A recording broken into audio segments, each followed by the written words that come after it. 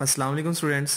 पिछली वीडियोस में हमने चैप्टर वन के पहले सेक्शन प्रॉब्लम सॉल्विंग मेथड्स को पढ़ा और समझा था। आज की इस वीडियो में हम चैप्टर वन के नेक्स्ट सेक्शन एल्गोरिदम को शुरू करेंगे। एल्गोरिदम के इस सेक्शन को हम टोटल दो वीडियोस में कंप्लीट करेंगे। लेक्चर का आगाज़ हम एल्गोरिदम की डेफिनेशन से करते हैं। एल्गोरिदम बेसिकली कुछ लिमिटेड स्टेप्स का एक ऐसा अमल है जिसको फॉलो करके हम किसी एक पार्टिकुलर टास्क को कंप्लीट कर सकते हैं। जब आप किसी भी एल्गोरिदम को डिज़ाइन कर रहे हो तो आपको ये बात जहन नशीन रखनी होती है कि जिस एल्गोरिदम को आप बना रहे हैं, वो बिल्कुल क्लियर इफ़ेक्टिव और लिमिटेड स्टेप्स पर मुश्तमिल हो। एक एल्गोरिदम हमेशा सीक्वेंस वाइज कुछ लिमिटेड स्टेप्स पर मुश्तमिल होता है। याद रखें कि हम जितना एक्यूरेट एल्गोरिदम डिज़ाइन करेंगे, उतनी ही आसानी से हम अपनी प्रॉब्लम को सॉल्व कर सकेंगे। अब हम किसी भी एल्गोरिदम को बनाने की डेवलपिंग स्ट्रेटजी को देखते हैं। एक्चुअली एल्गोरिदम डेवलपिंग स्ट्रेटजी कुछ स्टेप्स को फॉलो करके हमें हमारी प्रॉब्लम का एक बेहतरीन सोल्यूशन फाइंड आउट करने में एक इम्पोर्टेंट रोल प्ले करती है।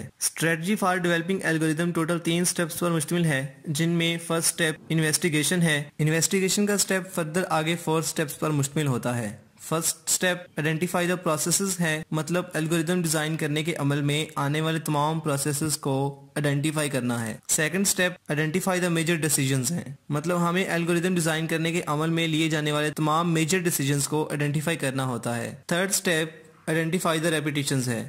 मतलब एल्गोरिदम डिज़ाइन करने के अमल में हमें कौन कौन सा स्टेप रिपीट करना पड़ेगा। Fourth step identify the variables हैं। मतलब एल्गोरिदम में इस्तेमाल होने वाले तमाम वेरिएबल्स को आइडेंटिफाई करना है। ये एल्गोरिदम डेवलपिंग स्ट्रेटजी के पहले मरहला इन्वेस्टिगेशन के स्टेप्स थे। इसके बाद एल्गोरिदम एल्गोरिदम डेवलपमेंट स्ट्रेटजी का सेकंड स्टेप प्रिलिमिनरी एल्गोरिदम है। इस स्टेप में पहले हम एक हाई लेवल प्रोग्राम वजह करते हैं और फिर उसके बाद हम एल्गोरिदम के हर स्टेप को डिटेल से एक एक करके जाँच करते हैं। और ये फाइंड आउट करते हैं कि प्रोग्राम में कोई प्रॉब्लम तो नहीं और अगर है तो फिर उसे सॉल्व करते हैं। इसके बाद थर्ड स्टेप फोर मराहल पर मुश्तमिल है।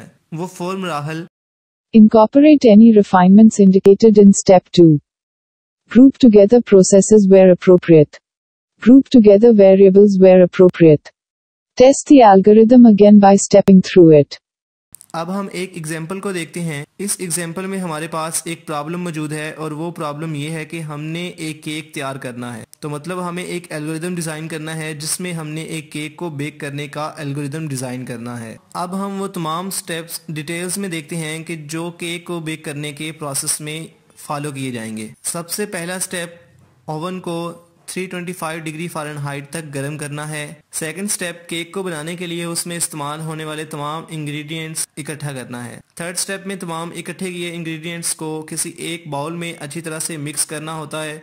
इसके बाद फोर्थ स्टेप में मिक्स किए गए मिक्सचर को एक बेकिंग पैन में डालना है। अब फिफ्थ स्टेप में इस बेकिंग पैन को हम 50 मिनट तक ओवन में रख देते हैं। इसके बाद सिक्स स्टेप में केक को मजीद पाँच मिनट तक हम बेक करते हैं और जब तक केक की दरमियानी सतह बिल्कुल तैयार नहीं हो जाती, हम इस प्रोसेस को बार बार रिपीट करते हैं। इसके बाद फाइनल स्टेप बनाए गए केक को कटिंग से पहले रैक के ऊपर रखकर ठंडा करना है। ये हमारा आज का फिफ्थ लेक्चर था। इसके बाद नेक्स्ट आने वाले लेक्चर सिक्स में हम कंप्यूटर रिलेटेड एल्गोरिदम्स की एग्ज़ाम्पल को स्टडी करेंगे। आइंदा आने वाली तमाम वीडियोस के साथ कनेक्टेड रहने के लिए आप आप इस यूट्यूब चैनल को सब्सक्राइब कर लें ताकि नेक्स्ट आने वाली वीडियोस आपको आसानी से मिल सकें।